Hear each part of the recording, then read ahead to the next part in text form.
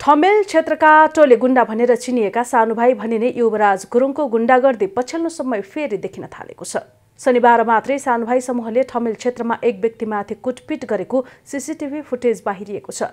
ठमेलको छाया सेन्टरको प्लेबोय क्लबको पार्किङमा सानुभाइ समूहले व्यक्तिमाथि आक्रमण गरेको थियो। सानुभाइ उनकै समूहका शेरलाल पौडेल र कमल तामाङको समूहले एक युवालाई कुटपिट गरेको थियो। हेलमेटले समेत ती व्यक्तिमाथि सानुभाइ समूहले हिर्काएको थियो।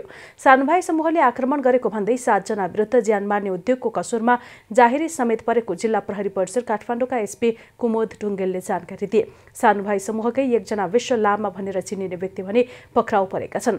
बाँकीको खोजी भइरहेको प्रहरीले जनाएको छ यसअघि ठमेलकै क्लब ओम्नियाका सञ्चालकलाई असार पन्ध्र गते सानुभाइ सहितको समूहले आक्रमण गरेको थियो। उनीहरू साउन दस गते दस हजार धरौटीमा छुटेका थिए त्यति बेलाको कुटपिट घटनामा पक्राउ परेका उनीहरूलाई प्रहरले हत्कडी सहित ठमेल क्षेत्र समेत घुमाएको थियो। तर प्रहरीबाट पक्राउ परेर छुटेको छ महिना पनि नपुग्दै यो समूह फेरि गुण्डागर्दीमा लाग्दै व्यक्ति आक्रमणमा उत्रिएको छ।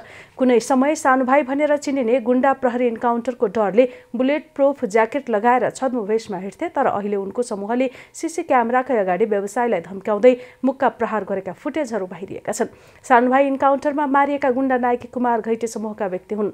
उनी घैटेको मुख्य सहयोगी भएर काम गर्थे। गुरु घैटेको इन्काउन्टर भएपछि असुरक्षित मान्दै सानुभाइ बुलेट प्रुफ ज्याकेट लगाएर हिँड्थे। बुलेट प्रुफ ज्याकेट लगाएर हिँड्दै गरेको बेला दुई हजार बहत्तर सालमा प्रहरले उनलाई पक्राउ गरेको थियो। त्यति बेला उनको साथबाट पिस्तोल र गोली समेत बरामद भएको थियो। उनी नेपाली काङ्ग्रेस निकट मानिन्छन्। पछिल्लो केही समय यता उपत्यकाका विशेष गरी ठमेल दरबार मार्ग गोङ्गबुर लगायत क्षेत्रमा गुण्डागर्दी हुने गरेको देखिएको छ।